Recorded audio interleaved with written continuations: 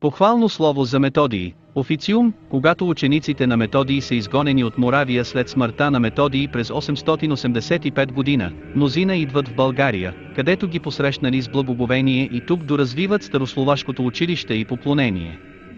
Един от най-добрите ученици на Методий е Константин, казваше се Кирил, Константин, който по-късно става преславски епископ в България.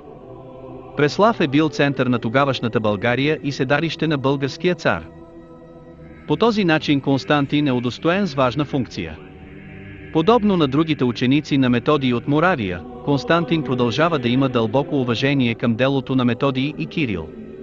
Учениците на Методий съставят няколко празнични религиозни композиции на старословашки, които се пеели в църквите с словашка служба.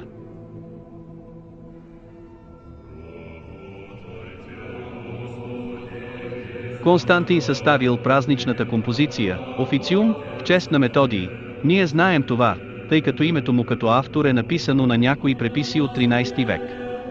Препис на оригинала, написан някъде след 885 година, не е запазен, а в България са запазени два преписа от 13 век, написани на кирилица. Ето няколко интересни пасажа, които потвърждават съществуването на две държави, Еморавско и Панонско, които са образували отделни словашки княжества. Славният баща Методий, учителят на словашкия народ, братът на Кирил философ. За тебе, отче, Еморавската земя е твърда като стена, която побеждава еретиците.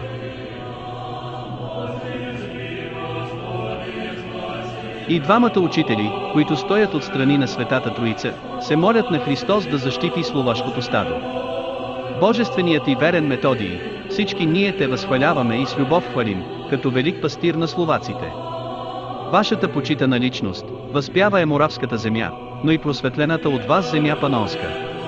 И хората от тези две страни се събраха, за да отпразнуват паметта ви.